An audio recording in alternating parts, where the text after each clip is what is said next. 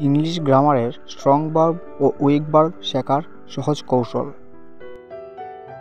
ভার্বের শেষে ইডি থাকলে ফার্স্ট টেন্স না থাকলে প্রেজেন্ট টেন্স আসলে স্ট্রং ভার্ব এবং উইক ভার্বের তিনটা ফর্ম হয়, একটা প্রেজেন্ট টেন্স একটা ফার্স্ট টেন্স আর একটা ফার্স্ট পার্টিসিপল ফর্ম তো ফার্স্ট টেন্স চেনার উপায় হলো, যদি দেখেন ভার্বের শেষে ইডি আছে, তাহলে সেটি ফার্স্ট টেন্স অন্যথায় প্রেজেন্ট টেন্স এই টেকনিক দিয়ে সবগুলো না হলেও প্রায় সত্তর শতাংশ বার্বের লিস্ট শেখা হয়ে যায়।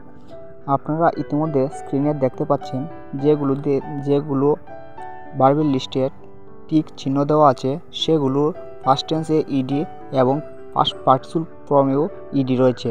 শুধু প্রেজেন্ট ফর্মে ইডি নেই। তো এরকম করে যদি আপনি সত্তরটাও শিখেন, তাহলে কিন্তু আপনার অনেকগুলো শেখা হয়ে গেল। যেমন আপনি দেখতে পাচ্ছেন ক্রাই ক্রাইড ক্রাইড আক্স আক্সড আক্সড তারপর অ্যাডভাইস অ্যাডভাইসড অ্যাডভাইসড এরকম করে আপনি প্রায় একশোর মতো শিখে নিতে পারেন।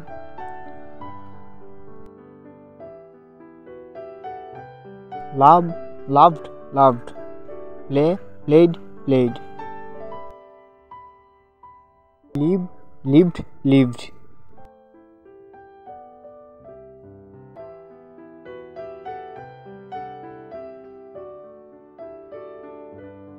আবার যদি আপনাকে প্রশ্ন করা হয় যে কোনো বার্বের ফার্স্ট পার্টিসিপল ফর্ম কী, তাহলে যে বার্বের ফার্স্ট পার্টিসিপল বলতে বলা হবে, সেই বার্বের শেষে ইডি যুক্ত করলেই ফার্স্ট পার্টিসিপল হয়ে যাবে।